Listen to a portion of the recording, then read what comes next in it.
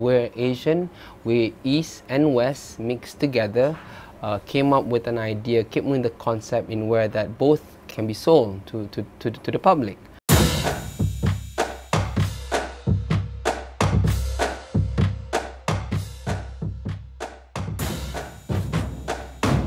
We want to provide something different uh, to Londoners here, which is we plan to come up with an Asian-inspired house. There we where we meet. It's two brothers meet. This is the and behind the name of Meet, uh, meet Brothers. This is story where two competitors we meet. We meet here to form a new brand and to establish in UK. a lot of people would go, I mean, especially nowadays, there's so many variations. You can go for Chinese, you can go for Thai, you can go for Korean, and then at the same time, you can go for the Mediterranean, you can go to the British cuisine. But let's see what two of both will join, combine, and see what happens. And then this is why the concept is very intriguing and very, very special in a way that I don't think many, many uh, restaurants here, other than the Michelin stars, does do the, the East and West kind of concept. And to put into perspective, uh, a lot of our Muslim community love the idea of having a Malaysian, have a little bit of the pasta with a little bit of sambal and, and throw in a bit of steak, ribeye, you know, just to have that momentum that, that, that inspire food, you know. So you cannot, you can have the Chinese and you can just have the steak at the same table.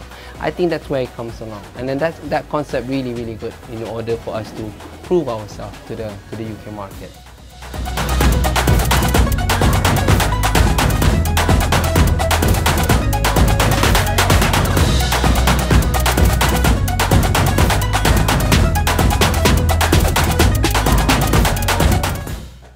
In Asian inspired steakhouse in UK. This is the first. So when we come here, we want to be different.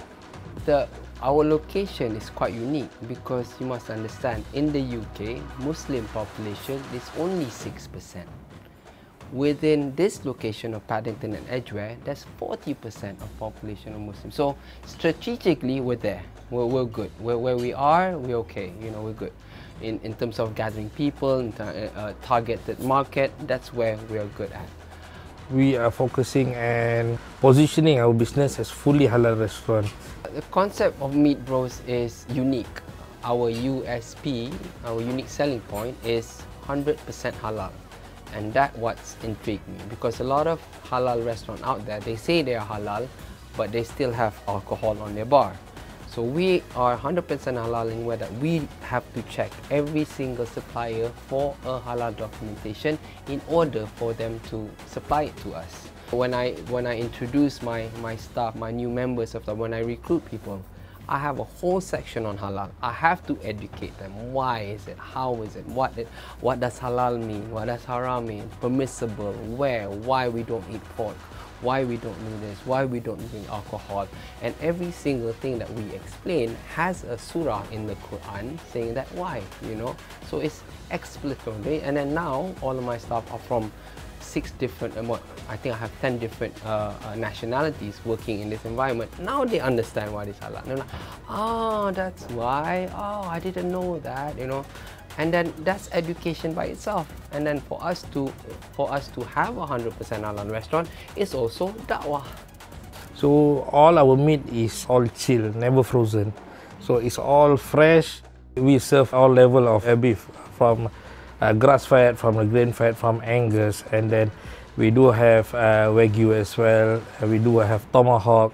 If you go to the beef selection, to the meat selection, what other places in the world have five different countries supplying this restaurant? We've got the Australian, we've got the Japanese, we've got the New Zealand rack, we have the uh, the Irish, you got the US. You know, five different countries contributing to that chiller that you just saw. So it's a, it's a lot. There's no liquor. There's then also smell of liquor, smell of beer in the restaurant. So it's more family-oriented restaurant. Side of uh, part of the nice, beautiful decor, which is surprise. People will be surprised when they go go to the to the basement with the because it is totally is this is ambience that you can see the decor because you are you are actually going to a different world. Kan? All this stone, all this uh, wood, all this door is more than 200 years old. we are underground literally and then when, when you, you have this kind of ambiance when you have this kind of decor people will get attracted to it this used to be a lebanese restaurant So this Lebanon, and then the owner put heart and soul into this. So all the wood, all the bricks that you see right here is basically imported from Lebanon to build this place. And then also the fact that they used to have live band, belly dancers in the past, and then you know, it really really brings out a whole story. Um, one customer was saying to me that it's like being in a, in a museum. I'm like, yep, exactly. You know, it's a whole story to tell and a whole a lot of layers of stories that, that you can dwell into it. You know, all these decors that we have.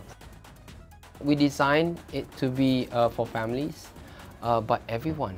I mean, the young professionals, the TikTokers, the younger generation, the older generation, the Gen X, the Gen Z, the millennials, they all have a spot in Meet Bros. All our menu is all 100% is freshly made in the kitchen. We are bringing fresh material, we are doing everything by scratch. The flavor that we are bringing, you can't get it in anywhere in, in London and UK. It's totally different with Asian twist of flavor. We have our own uh, recipe that we put it in the meat. So uh, the way we put it in so that you can really, really taste the flavor of the meat, not the flavor of the salt and pepper but it's really flavor of the meat. The chef is really competent, give, uh, bringing the flavor of the world. Well, in creating that halal menu, there's a lot of things that you, you need to think of. The, the, menu comes from Chef Najib, which is a quite well-known chef in Malaysia. His experiences all throughout his life was in Australia, becoming an executive chef by himself. So he's very particular in what he's trying to sell. And he always push it to the limit. He's always pushes creativity to beyond people's understanding. You can see a lot of thought, a lot of passion, a lot of time went into this and creating the superb menu that we have.